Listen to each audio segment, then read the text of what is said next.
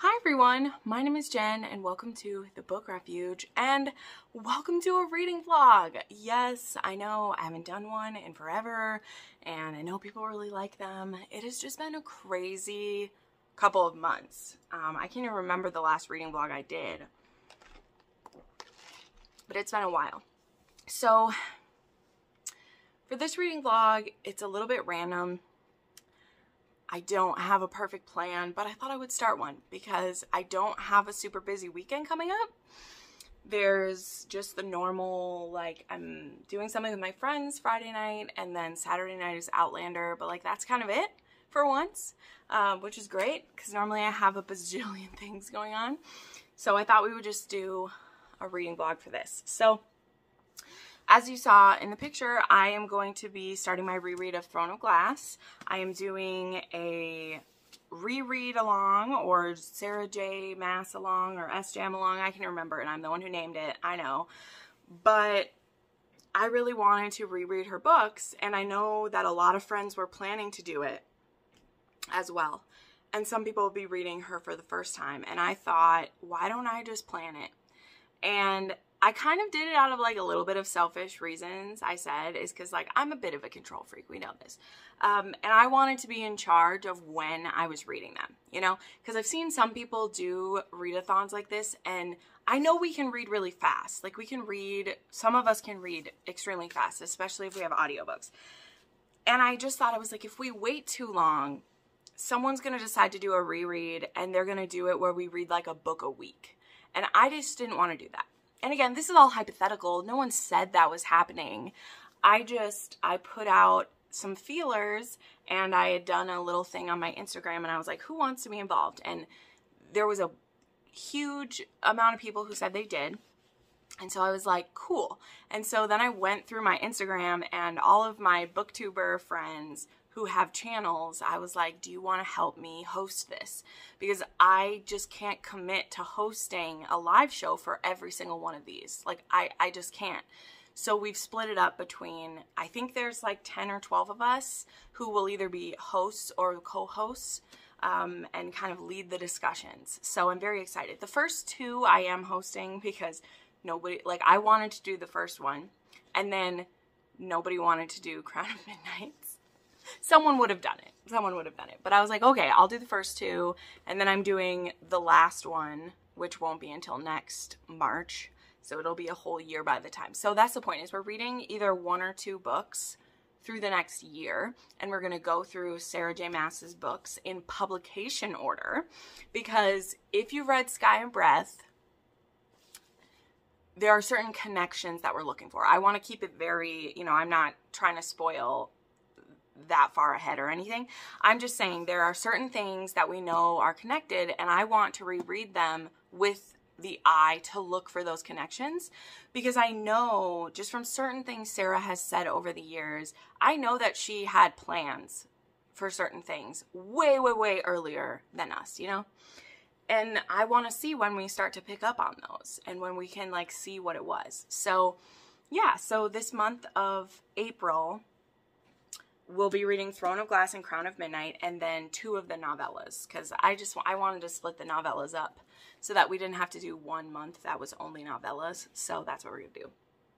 Um, so yeah, so that is the start of this reading vlog. This reading vlog will not only be about this because obviously we're going to do a live show talking about it, but you know, uh, I will share my thoughts as I go.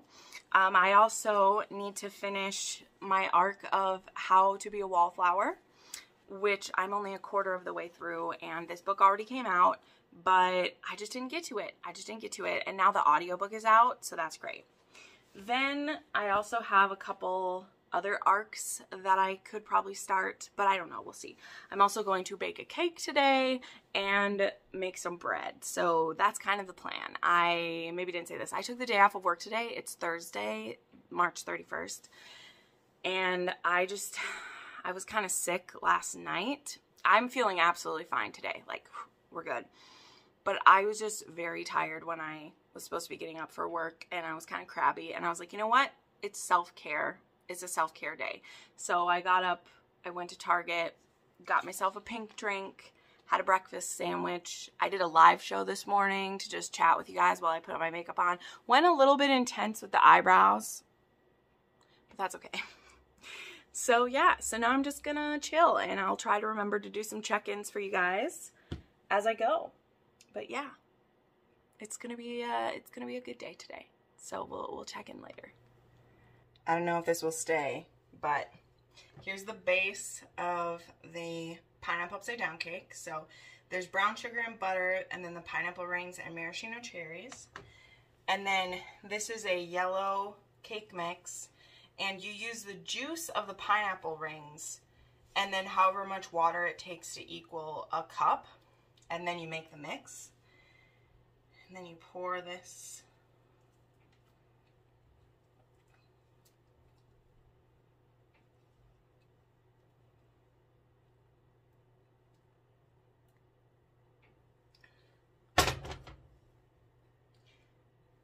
lightly push it over Bloop.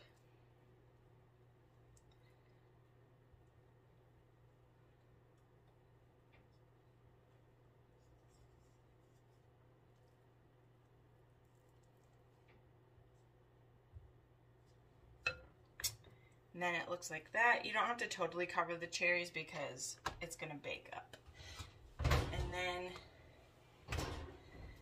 goes in the oven. for 45 minutes. So, I'll show you what it looks like. Later. And here it is taken out and turned upside down. It did get a little bit dark. I left it in just a little too long, but that's good. So like these will be like candied because of the brown sugar and the butter. And then um, before I serve it, I'll put the whipped cream on it. But I'm going to put it back. Um, once it's cool, I'll put it back in its pan. And then we'll put it in there. So, yeah. So it looks really good. I'm pretty excited about it. Turn that off. So that's fun. But anyway, I'm only about 50 pages in to Throne of Glass because I was, my hair is being weird, because I was cooking and I ate lunch and the day just gets away from you. I did not fill my eyebrows in perfectly, but anyway, I'll check in with a better like reading update soon, but I just thought I would show you what happened with the cake so I didn't leave you in suspense before I pack it up. So there we go. All right. I still feel like my eyebrows are extremely loud today and I missed a patch, but whatever. Whatever. It's fine. So it is a little after five. I just ordered myself some dinner because that is also part of self-care. At least I'm telling myself that. Um, I just ordered myself a burger I haven't had a burger in forever. So that's what I ordered for me. Um, I made it um, 120 pages into, oh, it's back there, into Throne of Glass so far. Just through the first, like, trial. And we also know that a champion has been killed and one of them like disappeared. So we're like down two plus someone lost. So we're like down three champions so far.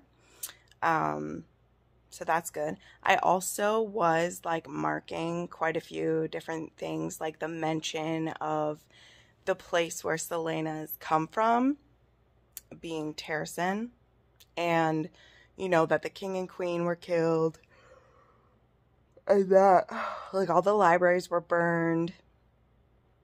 And then we also met met Princess Nahima. Nahima, Nahima, I can't even remember what the narrator said. I've already forgotten. Um, and I love meeting her for the first time and being like, oh, I love her. So yeah, it's going really good. Like it's so engaging. Um, I don't want to finish it all in one sitting, so I like stopped. Um, I'll listen to it some more later. But what I didn't do was pick up How to Be a Wallflower like I was supposed to. Neither did I pick up one of the other books that I'm in the middle of. No. I decided what was really the best thing for me to do today was to reread Contradictions. and I regret nothing because I am uh, I'm reading my favorite part, so I'm not doing a full reread. But if you didn't know, Contradictions is a Dramione fanfic, and it's by Ampersands, and it is my favorite after Manacled. And I mean, it's definitely a less stressful and more fun book to read than Manacled is. Manacled is its own epicness, but it's not a fun book to just hop in and reread. And I've been I've been wanting to read parts of Contradictions again, and today was just the day because again, self-care. Man, I need to redye my hair soon too. I'd meant to do that this week, but it just hasn't happened yet. Every time I dye my hair, I'm like, okay, now I'm not going to go two months before I do it again, and then I do. But that's okay. Nobody else cares what my hair looks like but me, so. But anyway, there's a little update. Not much has happened. Um, I was going to bake my bread but I decided not to because I'm not going to bring that to my friend's house now. I'm just going to bring the cake and the, the, I made a trail mix, a homemade trail mix. So yeah, and then, you know, I was skimming on TikTok for way too long. And again, I'm picking through contradictions. I probably won't um, read too much more of it today because I do have, like, there that I want to start because I know that I'm going to be getting some more arcs soon and I don't want them all to pile up is kind of where I'm at with everything, you know? Oops, my. eye. So it's like, I'm not in a hurry right now for some of them, but if I wait too long, I could cause myself problems. So, also, I gotta say, it's like weird vlogging again because it's been so long and I always forget what it's like a little bit. So, but you guys say you want more vlogs. So I make them. Don't let me down. Hey everybody, it is now Friday. I just got home from work and I definitely have some updates now on what I've been reading, but I got a package in the mail that I have been eagerly anticipating from Maggie Cole. Um, Maggie is an author that I fell in love with last year. That is her Mafia War series right there that I loved. And I've been seeing my friends get their uh, copy of this. And I've just been waiting patiently because it takes me forever to get stuff in North Dakota.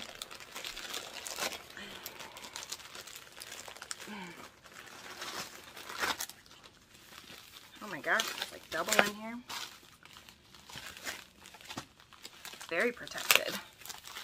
Ooh. But this is her, I can't get it open. This is her upcoming release that comes out in two weeks.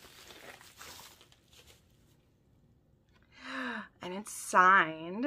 And she sent me an early copy of Toxic, which is going to be Mafia Wars New York. Um, which I'm so excited.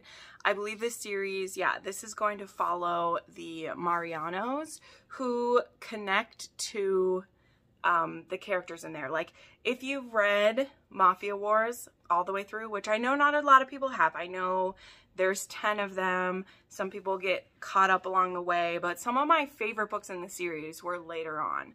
Um, but this series um, the heroine in this book, Bridget O'Connor, she was married to one of the hero's brothers from from that series. And he was uh killed. Like he died. And she her family is in um New York and there's another family, the Marinos, who their younger sister marries one of the heroes in that series. And we start to be introduced to them. And so I'm so excited that Maggie is staying in the mafia world. I'm so excited to read this one. Um, this one is going to be an enemies to lovers. Um, and she does enemies to lovers so well. So I'm so excited to read this. Literally, it may change my weekend plans, but I'm so excited to have it. So thank you so much, Maggie, for sending this to me. Um, I can't freaking wait. Like, I, I literally am so excited. So, okay, let's do a little bit of an update. First, let's update on Throne of Glass. I took the dust jacket off. So I am this far into it. I am just, well, I'm more than halfway, but not super, super far in. Um, I was able to listen to a good chunk of this at work today, which I knew that I would. I'd read about like 100 pages of it yesterday, and then I read another like 130 pages today. So where I'm at right now, Celaena has competed in three of the competitions that the champions are in. We've lost like three or four of the champions have either been kicked out or died at this point, um, which that's no good for anybody.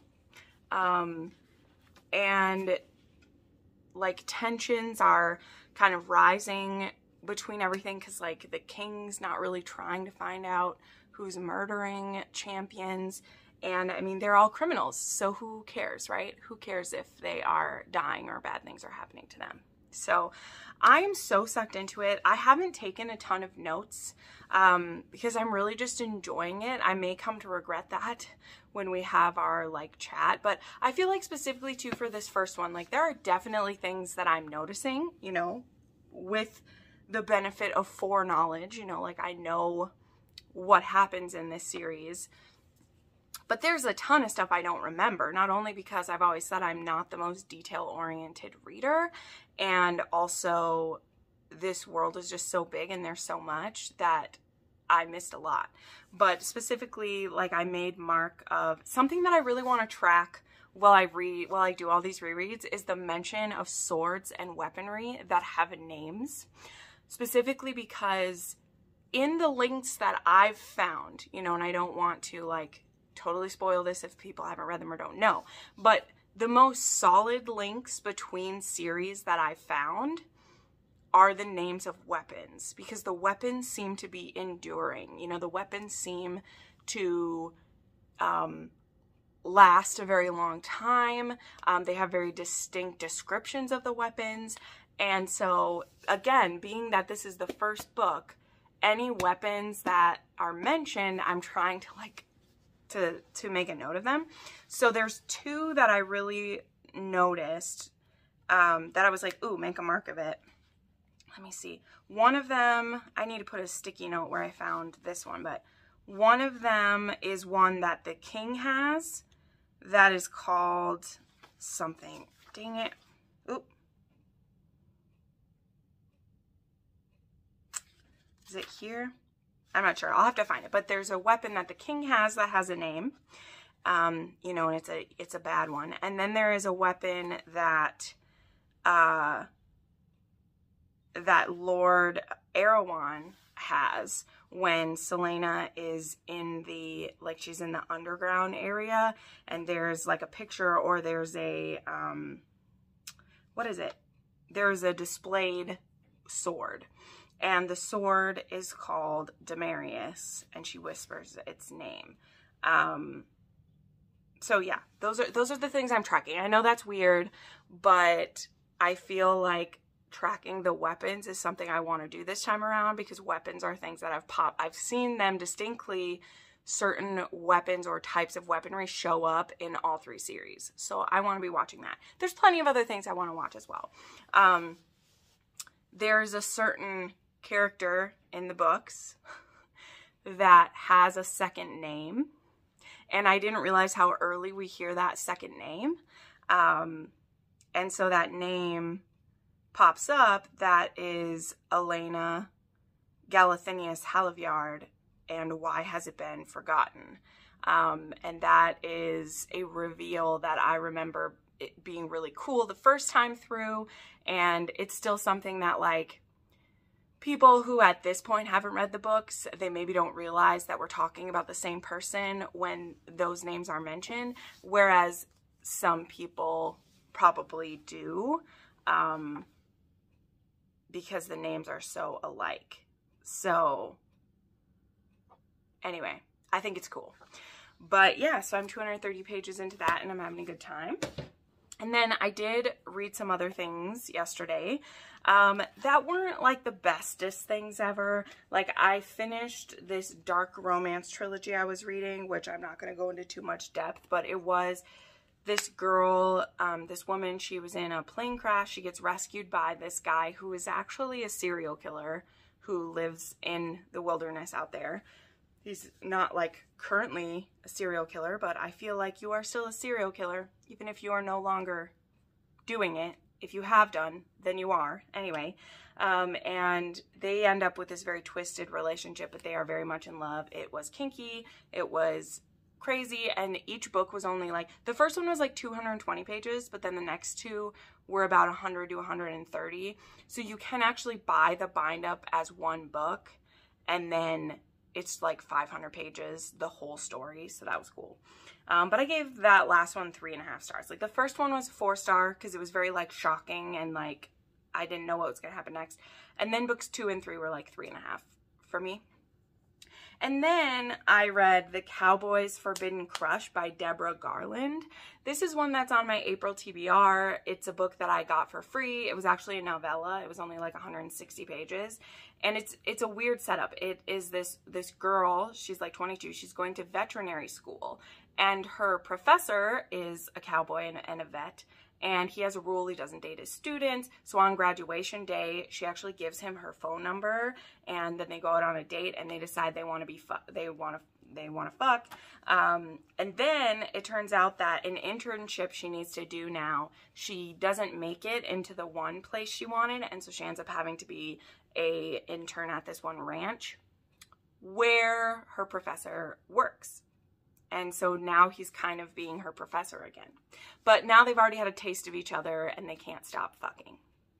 The writing was really bad. And y'all know, y'all know, if Jen says the writing's bad, it's it's not that's not me if it's bad it's because i said it's bad no but like i never noticed the writing being bad that's my point my point is is if the writing's bad it probably is pretty bad because if it was enough to jolt me out of it it was probably pretty bad. So I only gave that one two and a half stars. And I only finished it because I didn't want to DNF a book that was 160 pages and that had been on my TBR for the past two years. So it's gone now. We're done with that. So there we go. So the plans for tonight, um, in just a little bit here, I'm going to be going to my friend's place. You know, I think I talked about that earlier. I got that pineapple upside down cake to take and some trail mix that I made and the steaks are all thawed out. So we're ready to grill those. That'll be fun. Um, so I probably won't get much more reading done tonight. I may listen to some more Throne of Glass. Um, and then something fell down my shirt. Don't mind me. That's nice. And then Kink Camp, uh, Kink Camp, The Hunted by A. Anders actually just came out. And this is a book I've been wanting to read for a while because it's going to be about this camp. That's a kink camp where you can go and have whatever pleasure you'd like. And this one's focused on primal play, which is one of my favorite kinks that never gets done unless it's like a serial killer or stalker, which is fine. I like dark romance. But there was one that I read recently called The Four Leaf, which was a St. Patrick's Day novella, which was great. And they were two friends, and he's into primal play. But it was so short. It was so short. And it wasn't like sexy enough because it was 90 pages, and 60 of the pages was just leading up to the one scene that they do together so that was a bummer. But this one is like, it's a like full novella length. It's 200 pages and this one should be getting right down to the sexy primal play because that's what this camp is for. So this is going to be a whole series at this kink camp. I think there's going to be other authors that write in it too, um, but it will have different kinks. So I'm very excited for that, and I will probably try to read that one tonight. Then um, yeah, that's my those are my main thing. And then like guys, I really want to read this. Although I have an arc that's due before this arc because this arc is this book doesn't come out till the 14th. So I have a little bit of time to get to this one. So we shall see. But anyway, this was a good update and I will check in with you soon. Hello. Sorry for the bad light and all that jazz, but it's Saturday night. Whew, the day went by so quickly. Um, I meant to do more updates, but that's what happens. That's what happens when we vlog. Ugh, the lighting is really bad. Sorry. We'll hold it up here for a little bit. But it was a great day today. I got my filming done. I did some editing and then um, I actually went and hung out with friends tonight. It was a great time and it really was nice to do stuff. Like this weekend, you guys, if you're tracking, I did stuff with friends both Friday and Saturday. How cool am I being social and shit? Like, come on. Um, yeah, I used to do that all the time and it just hasn't happened. But I didn't have a ton of updates for like reading wise, you know, so then I forget to to check in, but I'll have a more probably like full way to end it tomorrow, but just to check in. So I did read Kink Camp. I know I mentioned that. Um and I talk about that in my weekly wrap up, which already have been up. I enjoyed it and I really like the idea of this kink camp, but I was a little bit let down because it's only 200 pages, and I feel like this is a book that either needed a bit more to go into the issues that the heal the hero was dealing with because he's healing from some like he lost his wife and then like he's the one with the primal kink and he very much wants to keep the interactions to like not knowing each other's name and keeping them like this anonymous hunt that he goes on um, and of course, because it's at a kink camp, like this is consensual. And so it's really fun because there's some like uh, rape fantasy in this, but it's, it's, it's, I don't know what to say. It's not even a particularly like aggressive forms of that. Um, because the heroine is very much like, no, stop. But they both signed up for it type of thing. Um, so it was fun. But the issues that he needs to work with, I feel like we didn't do that so I wish it was either shorter where we just had the sexy times or it had been longer and we went into more detail. That's how I explain it. And then I actually just finished uh, Throne of Glass and it was wonderful. I had a great time rereading that book. Um, I like immediately want to jump into Crown of Midnight and so I'll need to hold off a little bit on that though, because that's the book we're doing in the second half of April. But I do have The Assassin and the Pirate Lord that I could read, so I will definitely get to in the next couple days probably. I might do that audiobook at work on Monday, which won't take very long because it's only like a couple hours for the audiobook for that novella. So anyway, I forgot then I needed to read The Arc for Bright Like Midnight by J. Wolf. This is the second book in the Savage U series, which is a spinoff from the Savage Crew series. Um, and I really liked the Savage Crew series. That was high school like bully romances. Kind of, some of them were, some of them weren't. Um, but I actually, it's one of the few bully series that I actually really enjoyed. But the first Savage U, I didn't love a ton. But this one we'll see because I believe there's going to be some drug content in this one because the hero is a drug dealer. If you've been around my channel, especially recently, um, I don't love drugs in books. Now, I don't know this for sure. I just, I mean, I know that he's a drug dealer. I don't know how much drugs will be talked about in this one. We'll have to see. Because if drugs are like again, I'm fine if they are mentioned that they're there. What I don't like is seeing people under the influence of them. I don't enjoy that. Um, so him being the drug dealer, if we're just talking about it, we're not doing it, I might be fine. But we'll see. But I want to give it a go because I'm on Julia Wolf's ARC team and I want to give this one its full chance, you know? So, anyway, this was just a quick update. I will pop in tomorrow when I wrap up the vlog. Um, I'm just waiting to for Outlander to be on. I have another hour before Outlander's on because I always watch that right when it drops so that the next day after church I can film my Outlander review. So, anyway, we will chat. Hey guys, tomorrow. so I'm gonna wrap up this vlog. Um, it is Sunday afternoon and I want to get this edited and pre uploaded for my channel members.